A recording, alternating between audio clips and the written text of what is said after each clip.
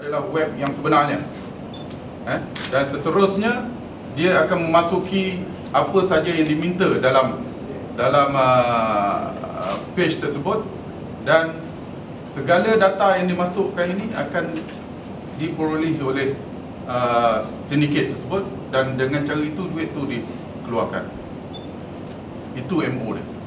Maknanya dia pitch pengadu untuk masuk dalam website dan uh, pengadu masuk dan dia akan uh, extract semua uh, data-data pengadu.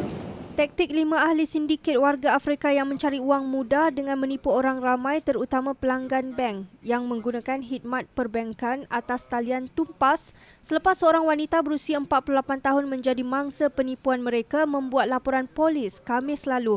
Mereka hanya duduk di depan komputer dan menghantar kiriman email kepada mangsa sebelum mengaut hasil mencecah puluhan ribu ringgit. Ketua Jabatan Siasatan Jenayah Komersial Negeri Asisten Komisioner Azmi Adam memaklumkan demikian penyidikan dan penahanan suspek hasil serbuan dilakukan pihaknya di sekitar Lembah Kelang. Semua suspek masuk ke negara ini dipercayai menggunakan visa pelajar sejak 2011 namun mereka menggunakan kepandaian dengan menipu melalui internet. Polis turut merampas komputer riba, 10 telefon bimbit, pasport dan beberapa kad ATM bank tempatan. Kes disiasat mengikut Seksyen 4-1 Akta Jenayah Komputer 1957 kerana capaian kepada sistem komputer tanpa kuasa dengan niat untuk melakukan kesalahan.